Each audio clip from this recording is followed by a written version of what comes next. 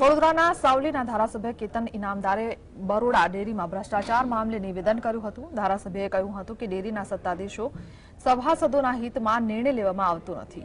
Cold રૂમના કોન્ટ્રાક્ટમાં દર લાખનો ભ્રષ્ટાચાર આચરવામાં આવ્યો હતો. ટેન્ડર પ્રક્રિયામાં ગોલમાલ કરવામાં આવે છે. મેન્ટેનન્સના ટેન્ડર ચોવીસ લાખ પિસ્તાલીસ હજારથી વધુનું બહાર પાડ્યું હતું, જોકે ઓગણત્રીસ લાખમાં ટેન્ડર આપતા પાંચ લાખનો તફાવત સામે આવ્યો છે. છાલિયા ડેરીના અનુરાગસિંહ પ્રમુખ હતા, ત્યારે કૌભાંડ પકડ્યું હતું, જેમાં દૂધના બે કેન વધુ નીકળ્યા હતા, જેમાં પાણી ભેળવાયું હતું. તેઓએ ભ્રષ્ટાચારનો વિરોધ કર્યો તો પ્રમુખ પદેથી દૂર કરાયા હતા. કેતન ઇનામદારે કહ્યું હતું કે, જો ભીનું સંકેલાશે તો હું ડેરી બહાર ઉગ્ર વિરોધ નોંધાવીશ. ચૌદ મંડળીઓના ગેરકાયદે ઠરાવ કરી વોટ આપવાનો અધિકાર અપાવ્યો હતો. ચીઝ કેટરમાં જર્મનીની કંપનીનું સિત્યાસી લાખ સડસઠ હજાર ઉપરાંતનું ટેન્ડર ભરાયું હતું, જેમાં સાડત્રીસ લાખ ઉપરાંતનો ભ્રષ્ટાચાર આચર્યા હોવાની વિગતો પણ સામે આવી છે.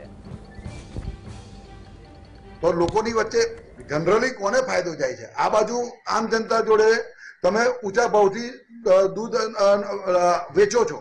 અને આ બાજુ તમે ગરીબ માણસ અને જે પોતે પેટે પાટો પોતે છે, એની જોડે ઓછા ભાવે દૂધ ખરીદો છો.